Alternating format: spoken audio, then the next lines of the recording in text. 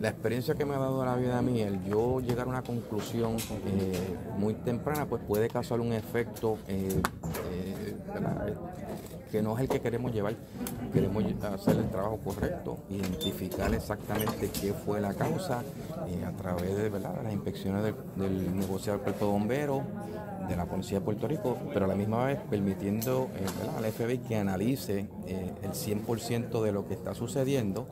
Y yo no, yo pienso que sería irresponsable de mi parte el yo poder decirte a ti, mira, me va a tomar tres días, me va a tomar cinco días, eh, las investigaciones van a tomar su curso, sí te puedo dar la palabra de que cuando terminemos completo, tanto el lado federal y luego el lado estatal, vamos a decir públicamente lo que y, y te garantizo que si encontramos que hay evidencia para de que alguna persona eh, ¿verdad? Eh, tuvo que ver con este incidente, pero a lo mejor lo ves de otra manera eh, el resultado. ¿Hay indicios de mano criminal aquí para que se esté especulando eso? Yo ahora mismo no te puedo decir, ni, ni te voy a confirmar, ni te voy a negar, porque realmente estamos en una etapa muy temprana de, ¿verdad? de lo que sería el trabajo de nosotros y como le explica el compañero aquí, pues hay, hay dos vertientes, hay una del, del lado estatal y hay una del lado federal y, sería irresponsable de mi parte el llegar a una conclusión el día de hoy. Aunque se esté investigando de forma aleatoria, pero es normal lo que está sucediendo. Las cantidades de situaciones que se han